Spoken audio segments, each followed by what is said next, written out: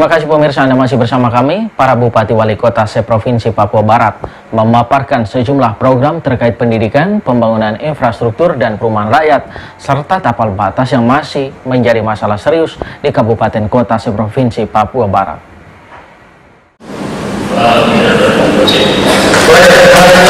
Beberapa program pembangunan dipaparkan para Bupati Wali Kota pada rapat kerja Bupati Wali Kota seprovinsi Papua Barat tahun 2018 yang digelar di Kabupaten Raja Ampat.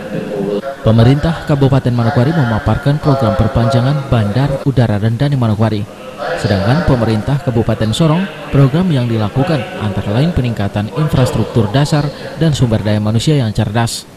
Pemerintah Kota Sorong memaparkan pembangunan pasar sentral Mama Papua yang membutuhkan akses jalan.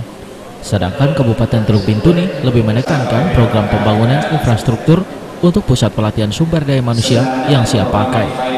Bupati Sorong Selatan Samsudin Angeluli meminta gubernur untuk menyelesaikan masalah tapal batas Kabupaten Sorong Selatan, Kabupaten Sorong, Kabupaten Teluk Bintuni, Kabupaten Maibrat, dan Kabupaten Sorong. Pertama kita sudah beberapa bupati sudah menyampaikan terkait dengan tapal batas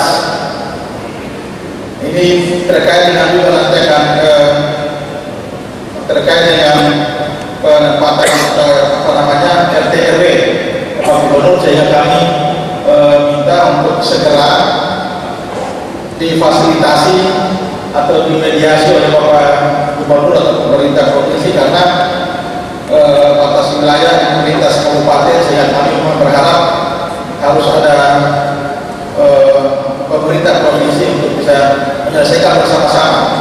Sorong Selatan dengan Kabupaten Sorong kemudian juga dengan eh, Bentuni kemudian juga dengan Kabupaten Beira nah ini ada batas-batas tapal batas dan ya segera kita harus selesaikan Hal lain juga disampaikan Bupati Pegunungan Arfak Yosias Roy.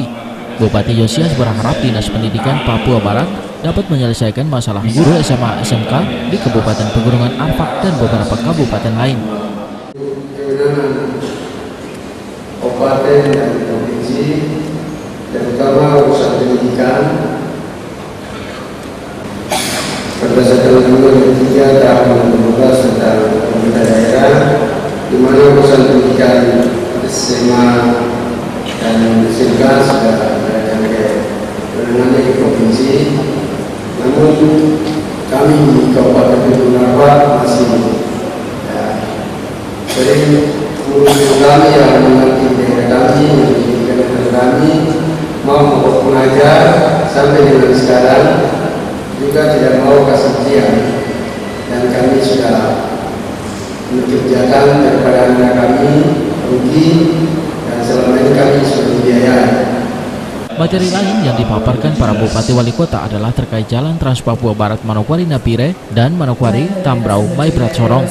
Selain itu, juga pemekaran kabupaten dan juga provinsi Papua Barat Daya, peningkatan ekonomi kerakyatan, serta promosi wisata yang dimiliki kabupaten kota.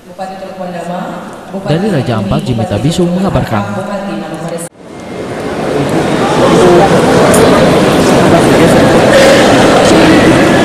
Thank